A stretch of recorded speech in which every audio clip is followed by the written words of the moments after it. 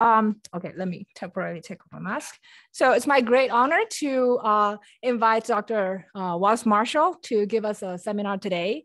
Uh, Wallace is one of the best role model you can find in inter uh, interdisciplinary uh, cell biology research. Uh, he approaches biology with an engineer's philosophy. So he started with a highly interdisciplinary education background. So he got his Bachelor of Engineering uh, in electrical engineering and Bachelor of Science in biochemistry, double degree from SUNY Stony Brook. And then he got his PhD in biochemistry from UCSF. And then he did his postdoc in cell biology at Yale University. And then in 2003, he returned to UCSF and uh, uh, became a tenure track faculty there. And he's currently a full professor in the Department of Biochemistry and Biophysics and director of the Center for Cellular Construction.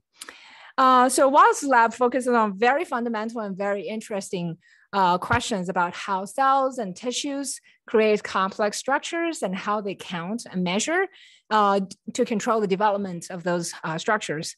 So he combines his engineering background and approach these questions with a unique engineering perspective. So for example, he tries to find out the algorithms uh, based on which the cell operates. And he uh, uses very unique uh, organisms to address the questions too, uh, which uh, we will hear one of those organisms today. Um, and uh, Wallace also took many initiatives to promote quantitative cell biology that incorporates uh, different disciplinary views. Uh, he not only uh, does this as a director of the Center of Cellular Construction at UCSF, but he organizes many, many uh, great events for the broader community, like the Woods Hole Physiology course, uh, Cold Spring Harbor Computational Cell Biology Conference, the NSF Quantitative uh, Cell Biology Hackathon, just to name a few, and there are many more. And these are great events that helps people from dis uh, different disciplines connect and uh, build collaborations. Um, and um, I think was one of the coolest person I've ever met. He always come up with uh, very sharp ideas and humorous comments about research, about life, and about everything. So I always learn a lot from uh, talking with him. So today we're gonna him talking about pattern formation and regeneration in a single cell in a very unique organism. So uh, for those who attend online, please put your questions in the Q&A. And uh, at the end of the talk, uh, uh we're gonna address those questions. And who have signed up for lunch with uh, Wallace, please stay in the room uh, after the seminar. I think the lunch is just across the hall. Okay, it's all yours. thank you, Jing. 真不好意思，就是你。So, not at all. So um, thanks everyone for, for joining in person and, and for those at, at home in the studio audience, uh, in, in, the home audience, thank you for also for dialing in. Um, please interrupt me if, if, uh, if the sound isn't coming through. I'm gonna try to stand more or less in front of the microphone, but if I start to drift, just, just tell me. So yeah, thanks so much, Jing. It's really a pleasure to, to be here and um, and to be invited by Jing, who I feel is, as I told her, I feel like the, the sort of the the natural um, um, kind of inheritor of the tradition of John Tyson of using math in really innovative ways for in cell biology. So it's, it's a great honor to be invited here and also by her in particular. So I'm going to tell you about our efforts to study this um, basically developmental biology of a single cell. And part of the motivation for this is that in development, people tend to think about cells as something small, simple, and stupid, like a Lego brick. And the only way to make anything interesting at all is to have lots and lots of cells, right? And that's how you build up complexity. And this is not really fair, I think, speaking as a cell biologist, because cells can actually have very, uh, cells do have very complex and beautiful structures. And this is true not only for free living single celled organisms, like some of these shown along the top, it's also for true, true of cells inside um, the bodies of multicellular animals and plants. And one example that I really love is, is the hair cell of the inner ear shown on the uh, hair cell of the ear shown on the bottom, where a single cell makes this beautiful um, organ pipe-like array of stereocilia, which is necessary for sensing uh, sound. And the thing about it is what I find very striking is that molecular biology has taught us well, basically all the building blocks. We know all the proteins that make up these stereocilia. What we know a lot less about is how the cell puts them together into this pattern. So, you know, what are the algorithms or, or mechanisms the cell uses to build these shapes? And I think part of the problem is that molecular biology as a field is very good at finding molecular scale explanations for molecular scale phenomena and the problem is when you want to ask about phenomena that are happening at a larger than molecular scale, it's less obvious how to do that using the, the, the usual methods of molecular biology. The people who've thought a lot about how to find explanations at this larger than molecular scale are developmental biologists and embryologists. This is what that, those whole fields are really all about. And so the question is, can we, uh, can we learn in cell biology how to take more of an embryology kind of approach to the cell?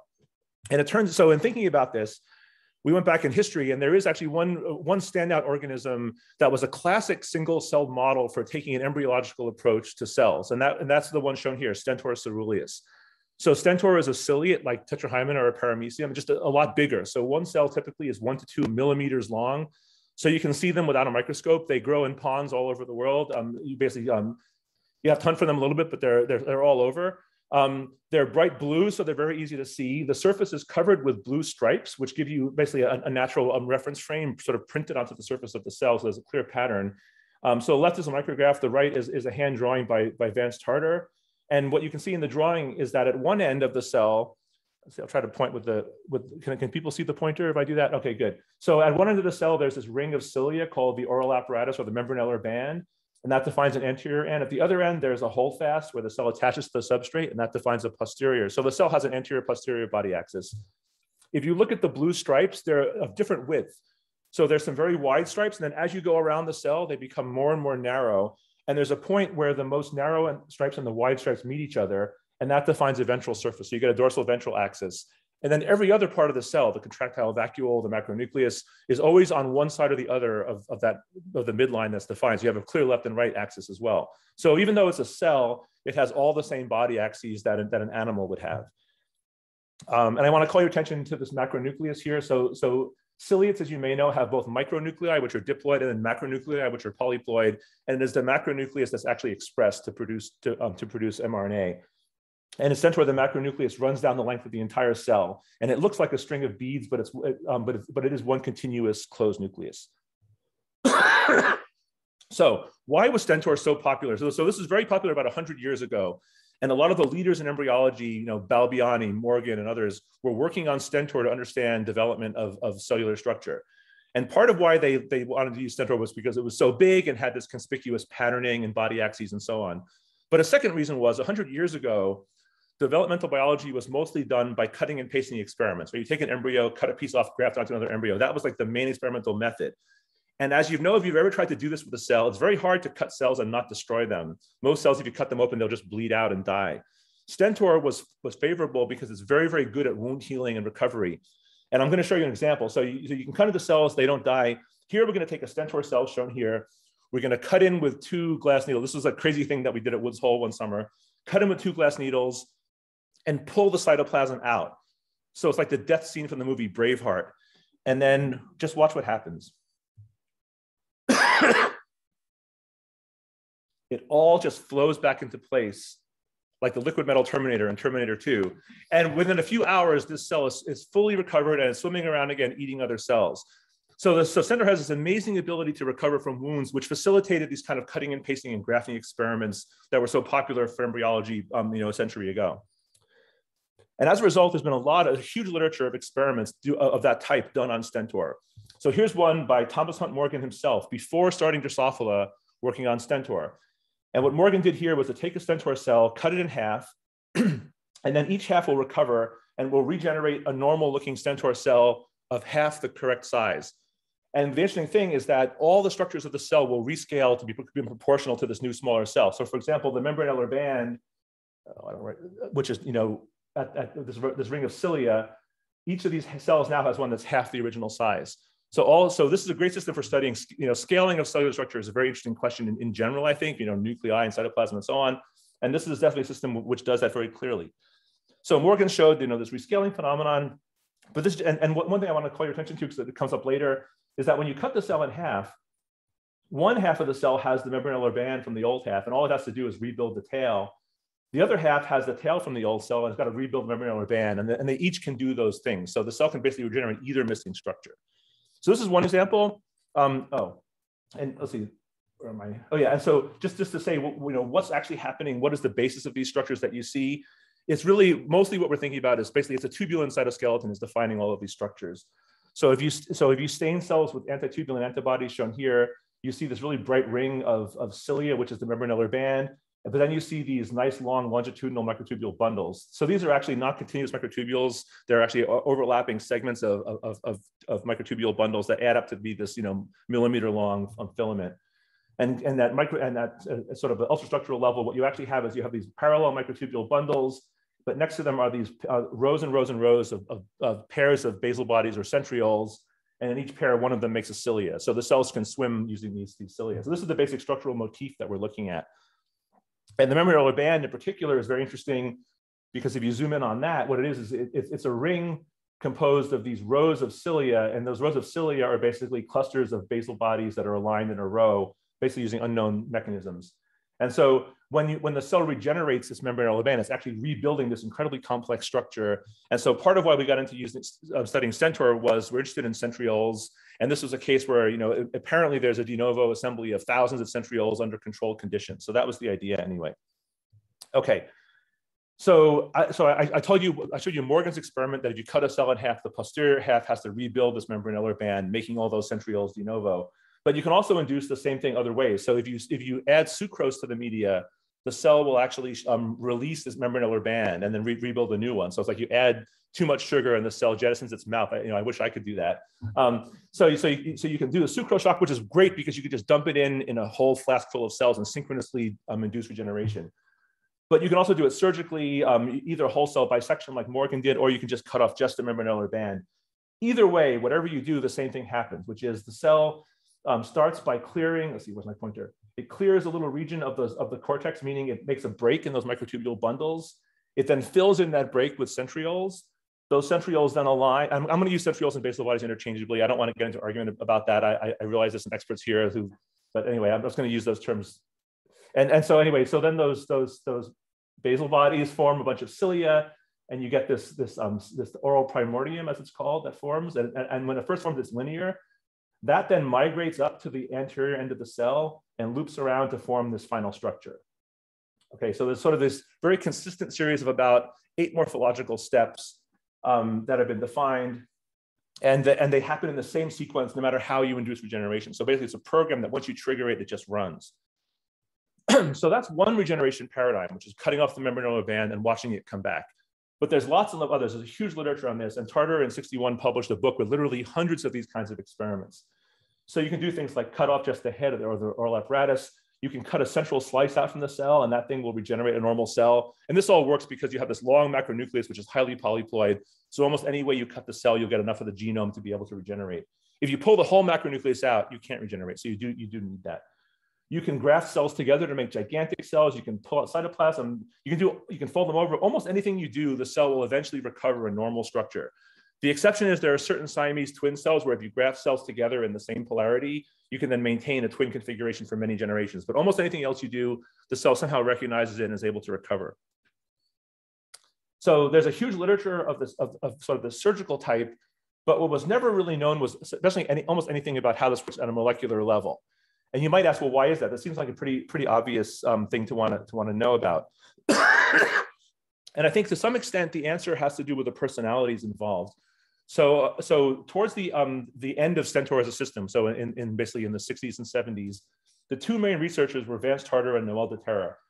They were both extremely brilliant and creative um, in, in, their, in their own ways. So, so Tartar is one of my personal heroes because he was actually not an academic scientist. He did all of his research in a, in a shack in back of his house using tools he built himself. Um, he ended up being affiliated with the University of Washington in order to be able to apply for federal grants. But he basically just was, was a hobbyist essentially who, who, who did this, which is amazing. Noel de Terra is another one of my heroes because she had, I would say, took Stentor to the highest level in terms of the complexity and elegance of her experimental design, grafting three different cells together in, in, in order to ask about whether the, the signals are, are being moving by diffusion versus by, by, by, by microtubule trafficking, for example. So they're both extremely brilliant and creative but neither one really wanted to pursue a molecular approach.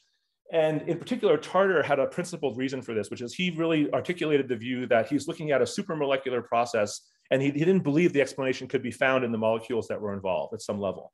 and I think it's obviously true that the molecules will not directly tell us what the mechanism is, but having those would obviously be an important first, first step. The other thing about the two of them is neither one of them trained any, um, they, they, weren't big on training uh, trainees. So they just did their own thing. And that was it. And so um, when they passed away, there was no one left to carry on the work. So the field essentially completely died out. Lynn Margulis did a few inhibitor experiments afterwards, and that was basically it. Part of the problem was if you wanted to do anything, you know, of a biochemical nature, you know, it, it, I think back to the 70s, a, a, lot of what you wanted to do would involve bucket scale biochemistry, growing up a lot of material and doing assays on that. And Stentor is a wonderful system unless you want to grow a lot of it. In that case, it's really, sorry, I don't know, did I do that? Well, anyway, um, sorry for those at home, the, the lights just went down for a, is it like gesture control? Anyway. Ah, sorry. So you'll appreciate this, Danielle. So I'm actually Italian American, and I, and, and I do this with my hands all the time. Is how I. Um, no, yeah, no, exactly. So okay, so I'll just keep yeah. So I'll just keep gesturing. so what was I saying? Oh yeah. So so so the problem Stentor, the doubling time is, is about four days. So to grow a large quantity is just not really practical. But nowadays we don't need large quantities, right? Technology has gotten to the point that single cells can be very useful for for proteome, for, you know, for certainly for genomics, but also even, even now for, for potentially for, for proteomics for cell the size. This is thousands of times the size of a mammalian cell. so the key is to have the genome. So we, we ended up sequencing and assembling the genome ourselves with the help of, of experts from, from Joe DeRisi's lab. And you know, I had a bad attitude about the Stentor genome. I figured, who cares what the genome is? It's going to be like everything else. It's a bunch of genes. There won't be anything interesting there. And in, in many respects, it was pretty much like your typical ciliate genome. Except the interesting thing is that almost all the introns are 15 nucleotides long, and the few that are not are 16 nucleotides long. So these, so this gigantic cell, you know, two millimeters long, has the smallest spliceosomal introns of, of any eukaryote. It's smaller than, than a lot of, you know, strictly parasitic um, um, eukaryotes. Why on earth that would be the case? I have no idea. If anyone has a theory about that, I would love, love to hear it. Um, but the spliceosomal machinery looks totally normal. You know, there's nothing that you can say that that looks different about it. So it's really a puzzle.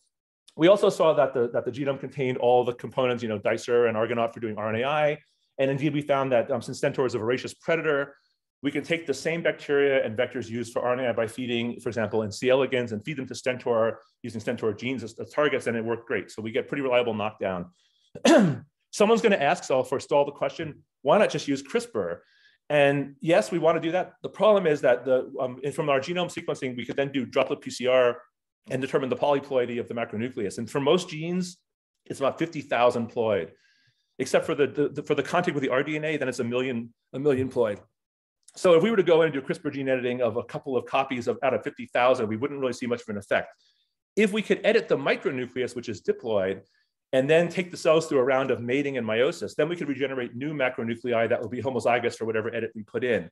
And the problem is we have not yet figured out a way to cause cells to mate when we want them to.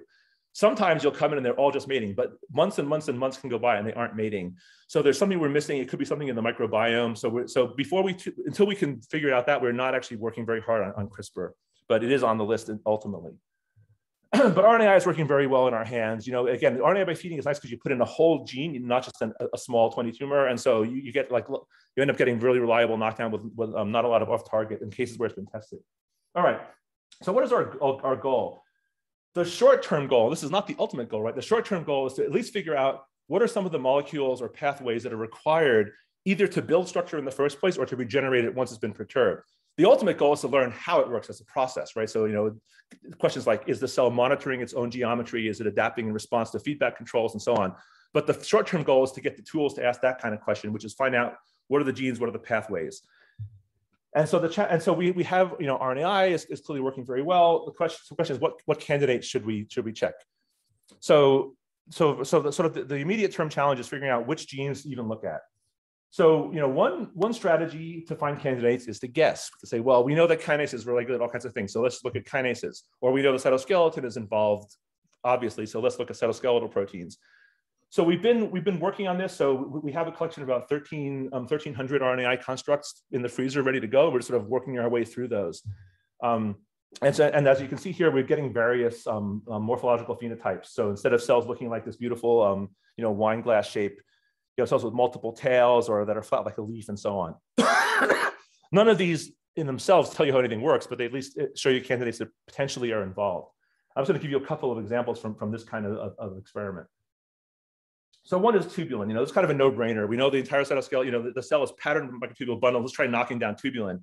Now the cells ultimately die, but before they die, they go through um, of a very nice, uh, quite prolonged stage where what you see is instead of having these beautiful, so this is tubulin staining, instead of having these long, nice, smooth microtubule bundles, you end up having these little chunks of tubulins with sort of gaps in them. They're still arranged in linear rows, implying that there's something else, maybe that's not tubulin based, another protein that's forming this fiber, which is not surprising. In paramecium, for example, we know there's other proteins that make similar fibers. If we look by polarized light microscopy, um, in, in normal cells, you can see the, the birefringent microtubule bundles. And then in the knockdown, what you see is that there's often gaps, there's holes where, the, where these bundles are broken. And then in, um, in contrast to a normal cell that will have a single holdfast, the microtubule knockdowns will often have two or more additional holdfasts. And we can show that they're all actually functional to attach to substrates. So the working model we have, which we still haven't, haven't, haven't proven, but the idea is that suppose there's some um, morphogen, I'm going to use the term morphogen as just a molecule which determines the, the, the, fate of a region where the molecule accumulates, which is how Turing described it when he first defined the term morphogen. So people always yell at me and say I'm not using morphogen the right way, but I'm going to go with the way it was defined. So if people don't like that, sorry. Um, so determining morphogen, which is trafficked on the microtubules towards the minus end. Normally in a, in a, in a wild type cell, because the microtubule bundles are parallel with the plus ends near the near the membranellar band and the minus ends are down at, at the, at the posterior, whatever this molecule is will accumulate then at the posterior and then it can induce formation of a holdfast there. And when, when we, what we think is happening is that when we um, knock down tubulin, you start to get these breaks. So now you have free minus ends in the middle of the cell. This, morph this tail determining morphogen can accumulate there and cause a new tail to sprout out. Now, the way to really test this is to do time-lapse imaging and show that indeed the tails sprout out of regions where there was a break. That's been a lot harder to do than we thought it would be because, again, it takes days for the phenotype to develop. Um, and if you try to um, put the cells in a little chamber to hold them still, they starve because they have to constantly be eating new food. So um, a student of mine, David Bauer, finally built a device that allows you to trap a cell in a microfluidic chamber and then feed it in um, a supply of, of, of, living algae through tiny little holes the Stentor can't escape from. So I think we have the tools ready. We just haven't actually gone to that final step. So this is one example. Another example that um, was quite striking was um, we knocked, so Mark Slabodnick, who was a student in my lab who really got Stentor going, he, he actually was, took the lead on sequencing the genome, got RNAi working. And, and one of the genes that he looked at was MOB1. So MOB1 is this highly conserved um, uh, uh, kinase scaffold. And it's conserved, you know, it's in humans and plants and yeast and so on. And um, in Stentor, when, when, when he knocked it down, you get this cell um, where, where the cell has multiple holdfasts. It, it kind of looks like, we call it the medusa, but actually it kind of reminds me more of a bagpipe with all these little tubes sort of coming off of it. And if you look um, by immunofluorescence compared to a normal cell, which has a single membranellar band and these long microtubule bundles, now what you have is multiple membranellar bands arranged kind of in a garland. So here's one with three. And each of those, if you track the microtubules back, each of those has a, a, a posterior pole associated with it. So you see there's actually three separate groups of microtubule bundles going out in three different directions. So the phenotype really is a failure to maintain a unified anterior posterior body axis within one cell, which to me is a very much an embryology kind of phenotype, not the typical cell biology thing that, that, that we see. And again, we don't know exactly how this is arising. We don't know the which kinases are the, are the, are the relevant um, client for MOB1 in this case. Um, that's something that we're, that we're trying to investigate. We do know that where MOB1 is localized. So, it, so part of why we looked at MOB1 in the first place was Helena Soares's lab had found that um, MOB1 localizes in tetrahymena to the posterior pole. And indeed, in Stentor, it's also enriched in the posterior by immunofluorescence. So the, the idea is that maybe MOB1 is sitting at the posterior end, activating some kinases, which then create a gradient of, of signals of some kind. That, that's one possibility. In terms of where the multiple tails come from, the, the current idea we have is that um, either during regeneration, but even during normal growth, the cell will sometimes have to replace the membranellar band with a new one. And that's to maintain scaling. So as the cell grows, the membranellar band becomes too small for the size of the cell, and it can't actually insert new centrioles into the existing band. So instead, it removes the band and replaces it with a new one. And so cells are always spontaneously um, undergoing membranellar band assembly. And what appears to be happening when we look by time-lapse imaging um, in MOB1 is that so normally the new membranellar band will form and again, as I said, it forms on the side of the body, kind of in a straight line, very much the way it forms when it regenerates. And then it has to migrate up to the end. And it appears to be this migration that is defective in MOB1. So instead of, instead of the band straightening, um, curling up and migrating, it just stays where it is. And then we see new posterior poles growing out basically in a direction determined by where the membranellar band is. So now we think we have evidence that actually the membranellar band is, is some, acting as an inducer to determine where where to, that makes it worse actually. Anyway, to determine where the new posterior pole uh, will form. Okay, so that's the kind of thing that we can get by doing our RNAi experiments. And we're just sort of running through our collections um, And you know, as new candidates arise, we, we, we look into them. So various members of the lab are sort of looking at their favorite pathways. And I think that's been very productive. Right now, what we're doing it has been has been just you know feed the construct and look at the cell morphology and say, do cells develop abnormal structures? So that's looking for genes that are involved in normal development. But we think there could be, you know, could there be genes that are specifically involved in regeneration? Is it the same mechanism or is there a different mechanism for regeneration? It's actually a very um, sort of classic question in, in the field of regenerative biology in general. So what we would like to do is repeat the same RNAi screening, but in a case where the cells happen to regenerate. the problem there is how to do it. You can cut cells in half with a glass needle. It's very easy. Put them on a dish, cut them, put them back in your chamber, and then watch. But that takes time. You know, if, you, if you're really fast, you could do like one a minute which is fine if you want to just test a couple of cells. But for a screening kind of um, project, it's just too slow. So as a solution, we've been collaborating. Um, we started collaboration years ago with Sindy Tang's group at, at Stanford and Mechanical Engineering Department. Um, and so they've developed what we call the microfluidic guillotine, where it's a, it's a, a, a channel in PDMS with a triangular blade, which you can sell, flow cells onto. And watch what happens when you flow the cells onto this. So it just cuts them cleanly in half and, and the cells recover from this as, as well as they would if you cut them in half yourself with a glass needle. So, it, but, but this we can do one per second and we can actually, um, they, they built an array of eight of these. So you can just jump down a plate and do well by well the entire plate. So we now have the tool to really do sort of high throughput regeneration experiments. And now the question is to go back and try to rescreen some of these things and also screen some of the genes that didn't give a phenotype in normal development and see, do they actually have a phenotype just in regeneration? So this is all the sort of you know unbiased screening, just guess what could be involved. That's one strategy. Uh, so a second strategy to figure out what candidates might be involved is to look at transcriptional profiling. And the reason why we thought this would work is we know from old surgical literature that if you pull the macronucleus out, the cell can't regenerate. If you let it start regenerating and then pull the macronucleus out, it basically stops wherever it was. It Basically, it'll go for about one more hour and then it will stop. Um, and from these kind of experiments, it was known that there's about five stages, four or five stages where you need the macronucleus to go through distinct sort of like um, cutoff points. And if you pull it out any one of those stages, it will go to the next stage and then arrest. And each of those is about an hour long. So we'd imagine that if we looked at gene expression, we might see about five waves of expression. And so um, my postdoc Pranidhi Sood did this by RNA sequencing. Um, and so here um, down at the bottom is a cartoon of the various stages of regeneration induced by sucrose shock. So the membranellar band pops off and then comes back through these morphological stages. And indeed, by clustering, we see that there are about five um, clusters of, of, gene expression. So if we ask, you know, what genes are turned on at these different stages, so at, at, the very first cluster is uh, corresponds to when the cell has basically just finished shedding its membranellar band and it's getting ready to start regeneration. And if you look at genes that are turned on, then you see a lot of genes involved in stress response. Not surprising, the thing's head has just been severed. Um, and there's also there's ion channels, a, lot of signaling molecules that maybe you're starting to trigger the, the pathway. Now, about an hour later, there's another cluster that turns on. And th the next cluster, this is at the stage where the cells are starting to make this break in the microtubule bundles. They're opening up a region where they're going to build the membranellar band and they're filling it up with centrioles. And if you look at what genes are turned on then, there's microtubule severing proteins, and there's also you know, the usual suspects of centriole biogenesis, SAS6 and so on. So this, this is very comforting because it suggests that indeed the, the molecules that are being expressed at a given stage do reflect the processes that we knew already were happening and so we can flip that around and say, okay, now if we see other molecules being expressed, maybe those are also telling us about something that we didn't know already was happening, and those will become new candidates. Okay, so an hour later, this is when the cell is growing cilia onto those basal bodies, and we see a lot of factors involved in ciliogenesis. And then finally, at, at towards um, towards the end, this is when the, the membranellar band is, is migrating up to, to, the end, to, the, to the end of the cell. And so at this stage, we see a lot of um, uh, expression of genes involved in ciliary motility, so axonemal dyneins, radial spokes, that kind of thing. And in fact, this corresponds to when the cilia start to beat. So earlier on, the cilia grow, but they're non-motile. Later on, they start beating, and that's when we see these genes upregulated. we see a lot of mitotic, especially kinetochore proteins being turned on at this stage.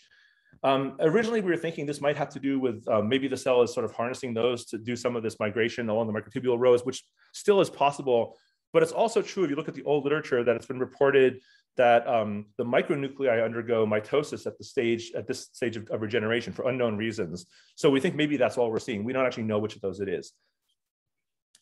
I mean, and, and, they, and those two things could be coupled, right? It's definitely possible that you could use the mitotic, um, you know, cell cycle machinery, for example, to trigger different um, sequential steps of regeneration. Then the final stage, um, basically the cell is, is putting the membranellar band into place, and then it's building a gullet where it's going to endocytose prey. And at this stage, we see again more stress response um, and, and, a lot of calcium-related signaling. So this is interesting. We don't really know what's going on at this stage, but these all become candidates now to, to, to test. So one thing that, that we can look at now is it, you, we can look at groups of genes and ask, are there some that are different than the others, and are they playing some unique role?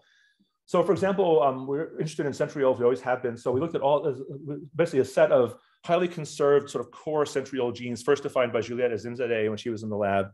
And almost all, and these, are centriole genes that are basically conserved in all species that have centrioles. And almost all of them have, the, have an almost identical profile of expression. As, so this is basically showing the various genes as a function of times um, since, since um, induction of regeneration, except for one, which is LRRC45. This is, this is being upregulated um, more than an hour after all the others. And so the question is, what's happening when, when LRRC45 is being upregulated?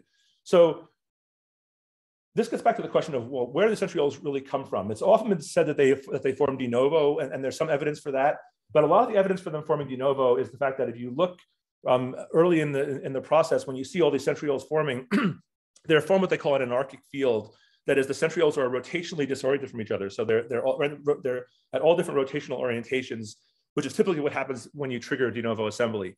So one, op one option is this anarchic field is actually showing de novo centriole assembly, but it's also possible, and, and this is seen in, in, other ciliates, that you actually form centrioles by canonical duplication, and then they dissociate from each other. So either way, you end up with this sort of um, disorganized cluster, you know, a big pile of centrioles, which only later organize into these nice linear um, rows that are going to form the membranelles of the membranellar band. And it is the time that the centrioles undergo this regrouping when LRRC45 is expressed. So it's you know quite a bit after when the centrioles first form. And LRRC45 in mammalian cells is involved in joining mother and daughter centrioles to each other. So we're thinking maybe this is playing a similar role here as, as a linker to build these structures. Okay, so what I showed you was regeneration following sucrose shock.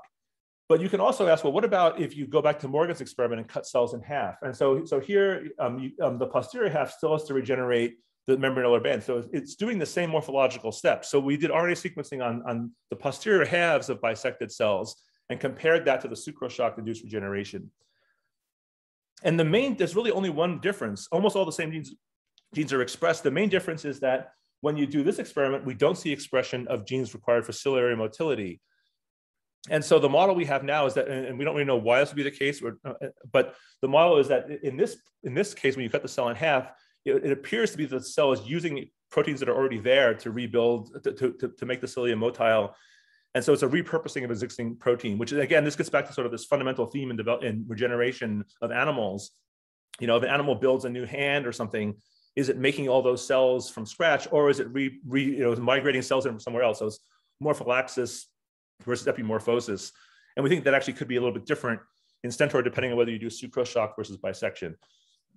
So, so now um, a student, Ulysses Diaz, is trying to um, label cells with, with, with fluorescent tagged protein prior to regeneration, then asking, is that protein reutilized or is it new synthesis? But we don't have the answer to that yet. Okay, so that's again, so, so, so that was the second strategy for finding candidates, which is do RNA sequencing and see what genes are upregulated. And that's give us, given us now a lot of, of, of new candidates to look into um, which I'll talk about some of those a little bit later. A third strategy goes, is, is, is uh, proteomics, which asks what proteins actually are in some of the structures that you might want to regenerate, because you might imagine some of those would actually be involved in building that structure. Now, there may be other proteins involved in building it that aren't actually part of the final structure, you know, in the same way that, you know, GroEL was involved in building bacteriophage, but doesn't actually encode a bacteriophage protein. Um, those are also interesting, but at least one way to get candidates would be to see what is actually in these structures. So the membranellar band is very easy to remove with sucrose shock. And then these are actually big enough you can hand isolate them with a glass needle and just collect them in a little tube. And then um, for the cell body that's left, um, this is done by um, my student Athena Lin. She cut the cell in half and then collect each of the halves. So she basically has a tube and just dump all the anterior halves in one tube and all the posterior halves in the other tube. And we've been collaborating with Tao Liu at Pacific Northwestern to do the, the mass spec on these. And so this is um, to cut a long story short, we, we, can we see different, there's different classes of proteins that are specifically enriched in these various cellular regions. So for example, the membranellar band has a lot of cilia proteins. The posterior body has a lot of EF hand calcium binding proteins, which I'll, which I, will talk about in a minute. But the point is we can see different, it's not the same proteins in all these different components. So we do think that there is actually um, differences here. And in fact, we, we, estimate that about 25% of the proteome, at least what we detect, and I'm going to say we're not like looking, we don't run forever, so we're, we're missing low abundance things, absolutely. But about 25% of, of the abundant proteome is polarized in the sense that it's enriched in one or in, in one versus the other of these anterior posterior um, fractions. And so this is actually, I think, a very sort of general question: how much of the proteome is, is polarized in a given cell type? And you and, and in, in, yeast, it's about two percent, or two to four percent. If you look at, at polarized structures around the butter bud neck, um, in in in um, mammalian epithelial cells, it's more like ninety percent if you look at just cell surface proteins. And Stentor is apparently somewhere in, in between those two extremes. So just summarizing what we see, the membranellar band obviously has lots of tubulin and axonemal dynein because it's got these, all these motile cilia. It also has three interesting classes, um, major vault protein, which I'll talk about in a minute, uh, GAS2, which is this interesting family of, of, of, of, proteins that are thought to be involved in linking actin and tubulin in, in some way. And also uh, there, there's some very interesting um, calcium signaling proteins, including a CAM kinase. The top half of the body, so the top half of uh, so the interior half of the cell body itself is enriched in mitochondria, which sort of fits what we see by microscopy. And then the bottom half is full of proteases, which we don't know why, and also um, EF hand proteins, particularly those of the centrin family. And if you stain cells with centrin antibodies, um, this is done again by my student Ulysses, what, what, we see is that indeed they are also very much enriched in, in that posterior half. So stentor cells, they stretch out like this cone when they're feeding, but when something scares them, like a predator hits them, they'll contract down into a ball. And that contraction is driven by centrin proteins that basically make these long filaments called myonemes. And so we think that's what we're seeing um, in, in this part of the proteome. Okay, and also um, one thing that we saw a lot of in the in, in the band was actin and, and, actin binding proteins, which we you know there's not a whole lot known about actin function in ciliates. It's because you know things like phalloidin don't work and so on. But because Stentor is big and, and, and injectable, um, Ulysses Diaz has injected LifeAct GFP, and indeed we see it, it, goes straight to the membranellar band and makes some really weird structures in, in, inside the membranellar band that we don't really know what they are. Okay, so these are all the strategies that we have to get candidates, and we've been doing RNAi on them, and I've only showed you some of the some of the RNAi constructs that we've tested, and we see all kinds of interesting phenotypes in terms of cell shape. But everything that I've showed you so far is a little bit frustrating in the sense that although they make weird shapes, they still regenerate. So if you take, you know, for example, MOB1, sucrose shock it, it will rebuild membranellar bands, even though they're, you know, they're screwed up in terms of their positioning and so on. PP2A, the cells are flat like a leaf, but they will still re rebuild the membranellar band. Um, so they can restore their abnormal structure after perturbation. So we haven't found molecules from this that are actually perturbing the whole phenomenon that we wanted to study, which is this ability to regenerate geometry. And so this led to, um, I would say, I think I have, a, um, yes. So for, for years, we sort of had this, I guess, sort of existential angst, which is the whole reason we were studying Stentor was this ability to regenerate maybe regeneration is just so robust you can't stop it with any single gene perturbation and therefore the entire pipeline strategy we had is never going to work and that would that would obviously you know if that's how it is that's how it is but that would be a little disappointing so we're pretty happy um, that we we um, uh, we finally did find one gene that really perturbs regeneration sometimes it, it, it, um, it, it, the cell will make a new membranellar band that's just very, very small. But in some cells, it doesn't make a membranellar band at all. And so this was um, the results done by my student Athena Lin. What is the protein that does this? It is Pumilio. Pumilio is this highly conserved RNA binding, RNA binding protein involved in development in, in lots of other species. So Drosophila is, is famous for this. So, you know, we've always said that we're going to study cell regeneration and development using the same concepts as people use to study animal development, but we're not going to see the same molecules. We're just going to see this, maybe the same concepts and processes. But now we're actually seeing the, some of the same molecules doing similar functions. And so that's actually super interesting. So this is something that we're trying to dig into more. Um, so Stentor turns actually has four different Pumilios. Only one of them is upregulated. So that's, that's the one that, that, we can knock down and get the phenotype. If we look at um, is nice because it's known what kind of sequences the protein binds. It typically binds sequences in the in the three prime UTR of its targets. If we look in Stentor genes, the genome is highly depleted for, for Pumilio binding sites. But when they are there, they're always in groups and they're always in three prime UTR of target genes. So we think they actually probably really are um, bona fide Pumilio targets. It's probably working the way it does in, in, in, animals. So that's potentially very exciting that this single cell is maybe leveraging, well, actually, I would say the way around, which I think animal development has probably leveraged mechanisms that were first put in place for developmental biology of single cells. And that, that actually then gets us around this whole sort of um, um, uh, intelligent design argument from creationists that how could all this have ever have ever evolved to make such complexity? I think the complexity was already there and the unicellular precursors, and animals just, just leverage that. So we can now look at things like, hey, what are what's going on with these Pumilio targets? So Pumilio, one of the Pumilios is upregulated during regeneration. But then it turns out we, if, we, if we look at targets, a lot of the targets are also upregulated at different stages of regeneration. They don't fall into any particular gene family, right? So we see, you know, just as, you know, um, listed just random examples, you know, so there's, you know, some kinases, some cyclins. We don't really know what's special about them, but at least now these become really high priority new targets to look at um, for, our, for our testing. So one thing that that's that none of this is, you know, all the phenotypes that we've gotten, we, we have phenotypes where cells either for Pumilio, they either don't regenerate or don't regenerate very well, or we have ones where they make sort of abnormal structures, but they still regenerate. What we really would like would be uh, uh, to, to know about how does a cell know that it has to regenerate in the first place? Again, a classic question of regeneration. How do you know, you know, if you're a salamander and your leg is cut off, how do you know that your leg has been cut off? What is the signal? And it gets to the question of, you know, can cells sense their own geometry? Because, you know, in terms of, you know, again, going back to sort of you know, feedback control mechanisms for, for building structure, if cells have pathways to sense things like distance and angles, that would be very, you know, that would that could explain how they regenerate. But then, you know, how on earth would that work? So if you could, you know, imagine a molecule that can sense, you know, to some extent, we, we know that when you perturb cells by these various surgical processes, it, it, genes are being turned on in response to that perturbation. So, you know, how do genes know to turn on in response to a, you know, a millimeter scale spatial spatial difference? That's to me a really interesting question.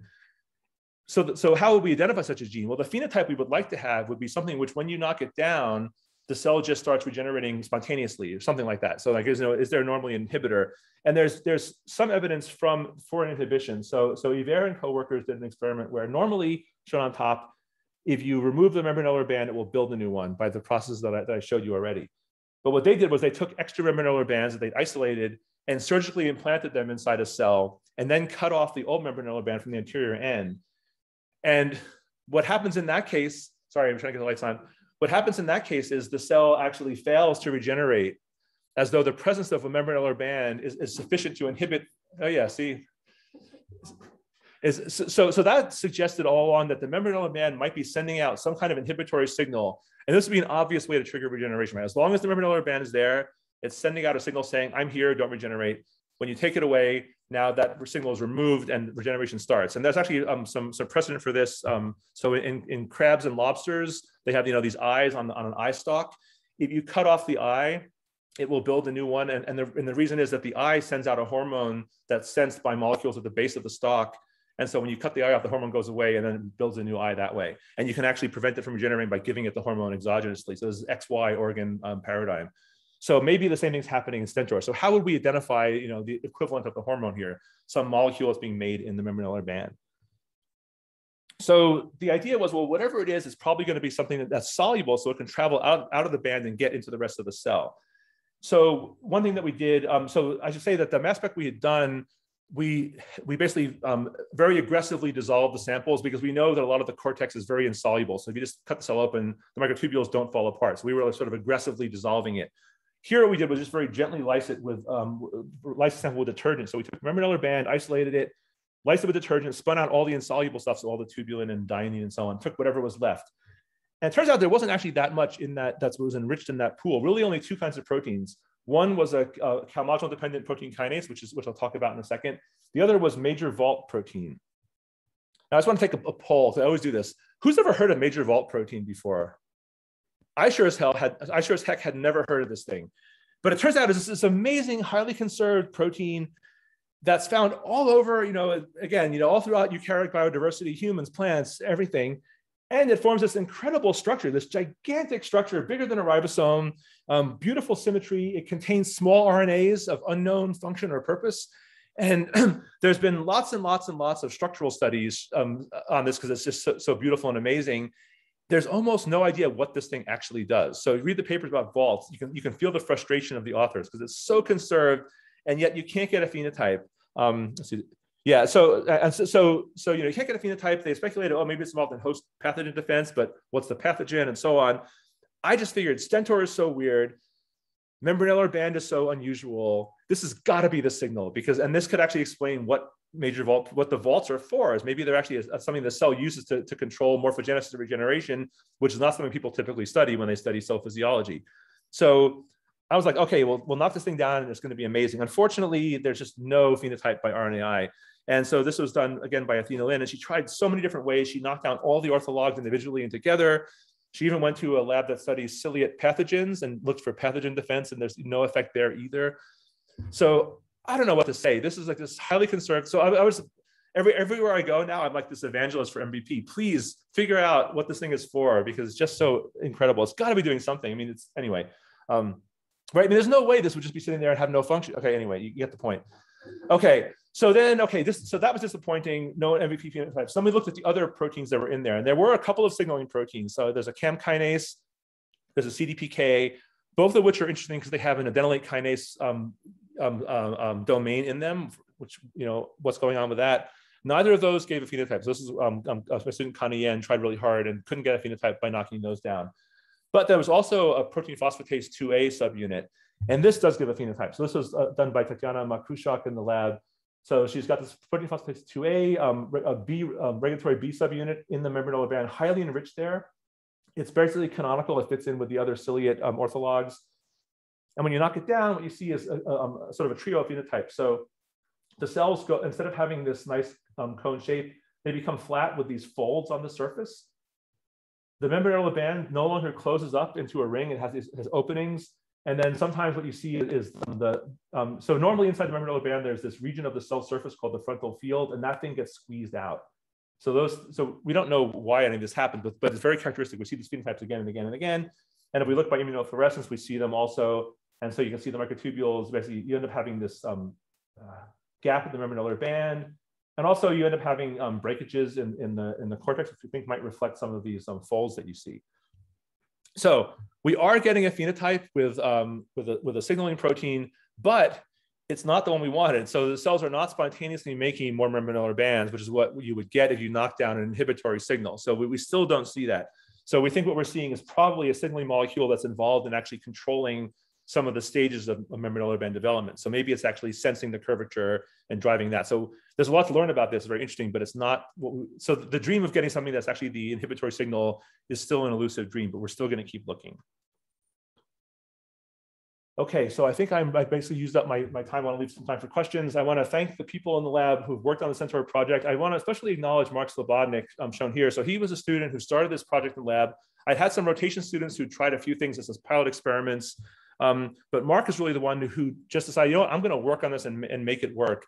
And the reason why I always like to praise him, uh, first of all, he's great, but also in particular, um, I know people, including his committee, tried actively to dissuade him from working on Stentor. They said, well, it's pretty risky, you know, but I wanted to say to, you know, to any, any trainees out there, which is, it's true that there's a risk in doing things that are risky, but there's also a high risk in doing things that are not risky because because you know your potential for actually getting something uh, really novel you know you, you're much more uh, it depends whether you get lucky or not so i think you know he he was very brave, but also I think quite smart to just to try to tackle this. But but he really got it to work, and it's only because of him that I'm here now giving giving this talk. I also want to thank our amazing set of collaborators. You know, again, starting something really new in the lab, you can't do it all yourself. You have to you have to have have friends. You know, when I was a kid, my grandfather always said, "Look, doesn't matter what you do." Ultimately, you know, you're gonna you're gonna need friends to help you, and then that's certainly been, been true for this. So I want to just acknowledge them, and we've been super lucky to actually have this funded, which I still can't really believe. Um, and I'm, again, very grateful to be here and have the chance to talk to you about this. And I'll stop here and take any questions you may have. And I don't know how we're going to mediate questions from Zoom. Oh, actually, maybe I can. Yeah, I can actually see them here. Yeah. So uh, then I have to talk into the microphone so the people on Zoom can hear. me. Oh, I, I can. If you can just repeat the question. Yeah, I'll repeat the question. Okay, yeah, right, right, sure. Yeah, that would maybe I mean, if you want to start with the Zoom keyboard, that's fine. But I have a question about the nucleus, right? Because you said that that you should take all the macronuclei, then it doesn't regenerate. But you also said the micronucleus divides during during regeneration. So why wouldn't it do that? Ah, right. Just by itself, right? and then, so I have a related question, uh, which is during, uh, I don't know how much you know the mating, the details of mating, right? Because in tetrahymena, the macro, and I suppose in Stentor too, the macronuclei come from micronuclei that divide, right?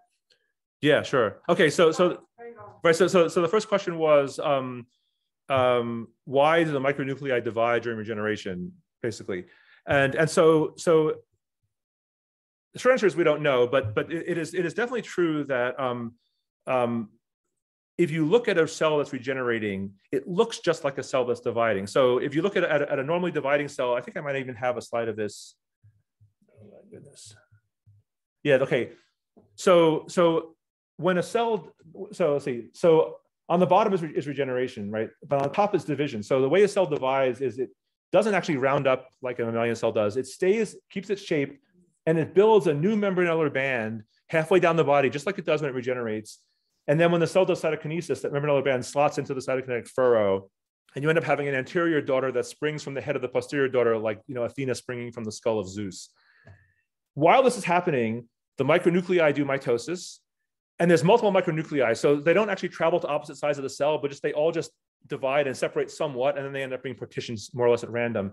But also the macronucleus rounds up into almost spherical shape and then re-elongates again, and then it's pinched in half by, by cytokinesis. So it's, it's, so it's not doing conventional mitosis, but it, it, is, it does get divided.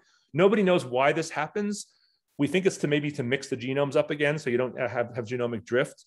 Um, um, we, have a, we have a whole story on this that I didn't have time to talk about, done by my student Rebecca McGillivray, showing that CSE1, this nuclear um, import factor, well, it's an export involved in, in controlling recycling of, of the importins. So it ends up being a nuclear import factor. And so if you don't have CSE1, then so CSE1 is upregulated at this stage. And if you if you deplete CSE1, the, the nucleus can't undergo this shape change. Okay, but the interesting thing is that the same nuclear shape change happened in regenerating cells. So their macronucleus rounds up and then re-elongates again, and the micronuclei undergo mitosis. So it so it kind of looks like when you do regeneration, you might just basically be inducing part of cell division, but without cytokinesis. So one possibility, so one possibility is that all these genes that are upregulated are just is just coincidental to the fact that it's doing a similar process. But it could also be that they're being, you know, used for something in this purpose, and we don't actually know which of those it is. So that's that. So, so basically, we don't know the answer, but but we think it has to do with a commonality of molecular processes. And then in terms of mating, what happens is um, it's actually really really cute. So two stentors will swim together, and they'll touch the rims of their membranellar bands like they're kissing, and then they'll make a little fusion pore right there, and they'll swim along together for quite a while like this. And as they're swimming along together, they're exchanging their micronuclei through that. So just like tetrahymena, through the fusion um, bridge, and then those micronuclei will end up um, you know doing meiosis and then, and then the products of that meiosis will become the new macronucleus and the old one degenerates so if we could make cells do that when we wanted to then we could edit the micronuclei and, and get on with it the problem is we just don't know only only very rarely do they do they mate um, yeah it's just anyway am i understanding correctly each micronuclei is one whole copy of the genome yeah, so so so, so Jenny asked about, about the micronuclei. Yes, each, each one is actually diploid, so it's got two whole copies of the genome. And then and so so what happens is you exchange those micronuclei, which then undergo then you have meiosis, which happens. So you end up getting haploid versions, and then those things recombine to make um, both new micronuclei and the new macronucleus. So do all the micronuclei exchange? no, it's only it's only some of them. And so we've actually caught cells that were mating and we can see some micronuclei. Normally, you can't even see the micronuclei in Stentor because they sit in pockets on the surface of the macronucleus. So it's, so it's like trying to image a light bulb next to the sun. But during mating, they actually travel. So you can see some of them near the, near, but we don't think all of them, we don't really know actually, but presumption is they don't all exchange. So in that division pathway, when does uh, DNA replication happen? Ah, so the question is when does DNA replicate? So I mentioned that Stentor has a, about a four day doubling time. About three days and 15 hours of that are S phase. So almost the entire lifetime of Stentor is spent replicating its DNA. And what we see is an extremely strict scaling relation. If we take cells of different sizes, you can tell the, a, the ploidy directly relates to the volume of the cell. And so, you know, there's this well-known, you know, um, business of, of nucleocytoplasmic uh, uh, ratios. And so, one model we have is that the re- is that in order for Stentor to get this big, they have to just make lots and lots and lots of DNA. Um, and so, one thing that we that we would imagine, but we've never been able to show, is if you blocked DNA replication, maybe you could stop cells from from growing. Yeah. All right, maybe I'll try looking at some of the questions from uh, from the the audience viewing from home. So Okay, so so let's see. So Samir asked, in regenerating cells, do the halves of bisected cells also have identical transcriptomes? It's a great question. So the answer is no, they don't. So you see, there's um, quite different genes turned on in, in the two halves. So all the genes involved in making membranellar band are only turned on in the posterior half, not the anterior half, which has inherited the old membranellar band. There is a subset of genes that are only turned on in the anterior half, which we infer are involved maybe in building the, the holdfast, but we don't actually know. Um, and then there are some genes that are turned on in both the anterior half and the posterior half, but that are not turned on when you sucrose shock a cell. And so those, which we call bisection specific, um, we think those could actually be involved in recovery from the wound. So because unlike sucrose, where there's no actual membrane wound, when you cut it with a knife, the cells actually do, they're, they're open to the environment. And so, so, you know, the cytoplasm is altering its chemical composition and then it seals the membrane. So we're, and so these genes that are common to both the anterior and the posterior are turned on hours after the membrane has closed. So membrane fusion is very fast, like in 10 minutes or, or maybe even two minutes, you've already got the membrane sealed up again after cutting it. But hours later, you see these other genes being turned on.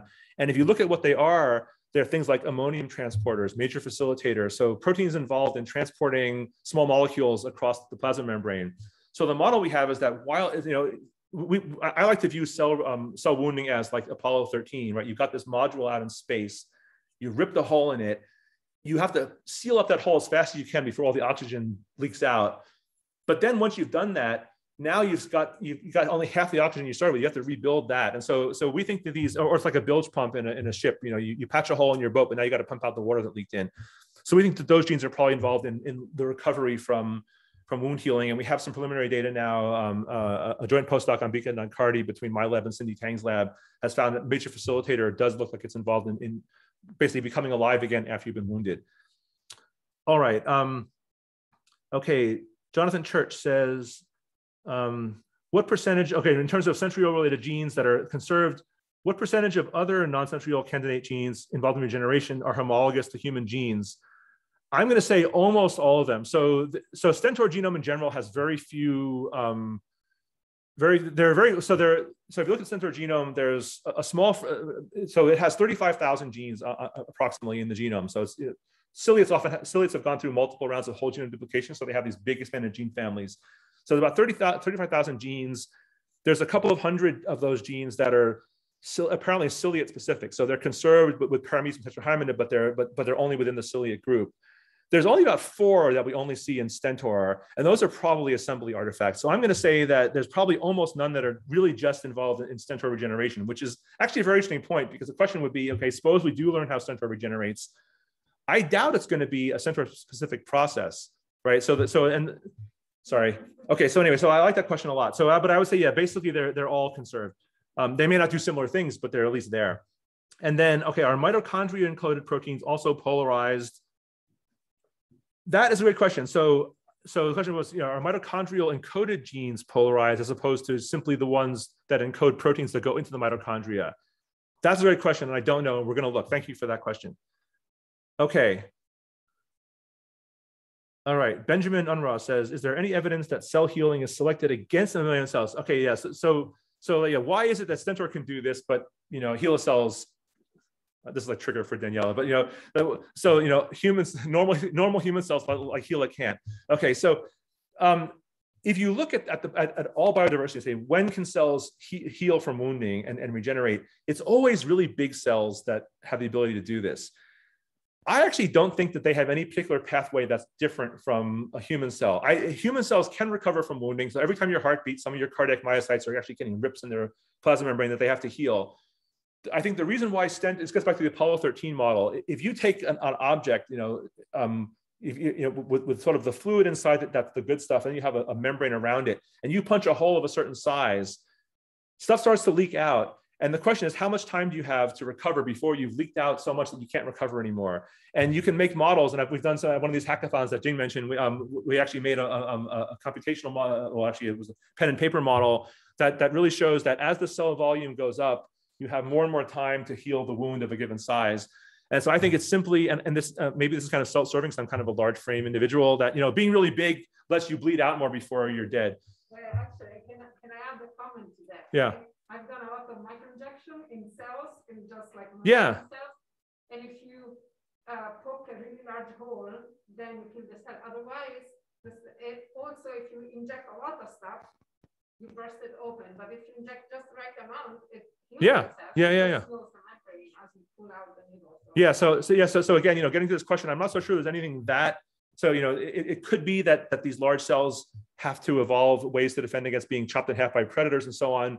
But it could also just be physics of, of very large objects have more stuff to bleed out.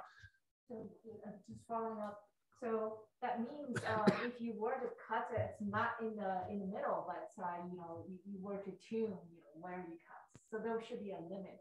You know, at some point you you make a cut with uh, enough surface to volume ratio, so it won't regenerate. Yeah, yeah, yeah. So th- right, this is something that that that, that Sindy Tang and I actually keep. Um, it's it's in a grant that we wrote that we still haven't done, which is yeah. So Stentor, you can cut pieces about one sixty fourth the size of Stentor, maybe even smaller. The key is to have basically at least uh, enough of the macronucleus to be alive, and you make this tiny little Stentor that has a normal shape. The prediction is those tiny little Stentors should be less tolerant of, of, of wounding, and that I mean that they might die sooner or take longer or, or whatever. But so there, there should be actually a predictable relation between size that we're we are looking into that. Yeah, it's, it's a good question. Oh, so sorry. This the question for the what was. Um, is there a limit to how, as you make cells smaller, they become less able to regenerate? And so we think maybe yeah, that could be. Okay, um, question from Jonathan Church. To what extent can single cell patterning regeneration form us of tissue level regeneration in multicellular organisms? Oh, I love this question. So yeah, my personal belief is that we're going to see that, you know, how did tissue organization evolve in the first place? You know, there's so many molecules and pathways involved and you need all of them for the thing to, for, for, for tissue to form or organ to form properly. How is that even possible? I truly believe that, that we're going to find the same mechanisms are, are, are, taking place. And there are sort of examples of this where, um, you know, if you think about a, tissue culture cell moving around in a dish and has like an actin cortex around the outside, um, in many cases, if you have clusters of cells moving around, they end up forming a structure that has an actin um, fence around the outside of the entire cluster. So I, I, I, I think we should be looking more for sort of um, uh, not just analogies, but like identical use of molecules at both um, cellular level and tissue level. And there's a lot of examples in literature. You know, for example, in Drosophila, if you if you block cytokinesis, the embryo will still form its uh, stripes of pair-rule gene expression. It will still do gastrulation movement of the cytoplasm and so on. Okay, um, question from anonymous attendee. Oh, tell me if I'm, am I going over time? I, all right, there's a couple more questions. So anonymous attendee, in the context of single cell organisms being complex, how do you answer creationists asking where their complexity comes from? I answer the creationists by saying I agree with them that this is a very interesting question. Um, my, my response to the question is that we should try to ask the question and investigate it as opposed to just throw up our hands and say, well, science can't account for it. But I agree that it is actually an interesting question. Um, so yeah, that, that's that's my usual way of and I have actually, you know, I, have been going to sort of maker faire events up in rural Mendocino County, you know, with survivalists, you know, gun-toting fundamental survivalists, and they all, you know, as long as, yeah, we have actually very interesting conversations about these things. Um, I just think it's an interesting question. I don't think we have to, you know, give up on the idea of, of scientific explanations just because the question is interesting. Um, okay. No, no, no, non-obscenity in relation to relatively short introns and stentor, would larger introns make regeneration more difficult if split macronuclear nodes couldn't regulate splicing? Possibly, yeah. So, um, yeah. So, uh, I guess one thing that we need to look at is um, there are smaller stentors that can still regenerate, but they're just a lot smaller. And so that might tell us whether, and those, so we don't know the size of their introns. If they still have small introns, then it could be something to do with regeneration rather than just size. That's an interesting question. All right. Okay, question from Jiamin Yang. What happens if you were to cut a late stage dividing Stentor different positions?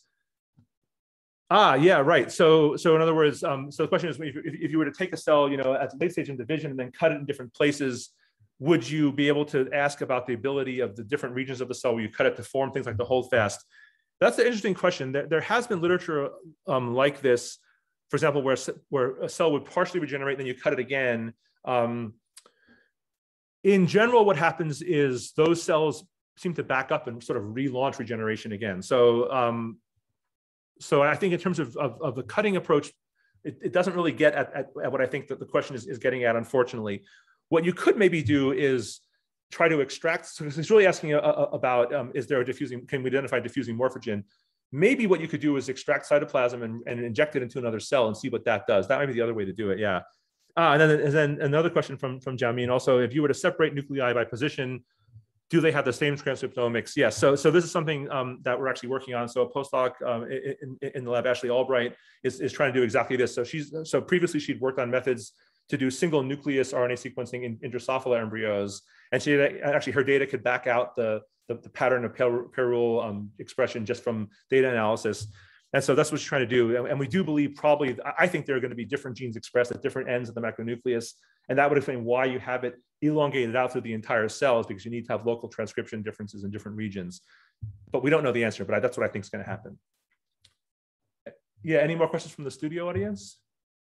I could the students maybe yeah. ask the questions during lunch at the after Chinese lunch?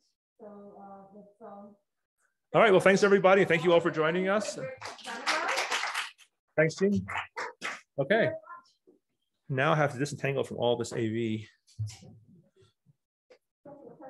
have to do it because I cannot see any questions. Yeah, yeah, I realized that I thought Dustin had given you.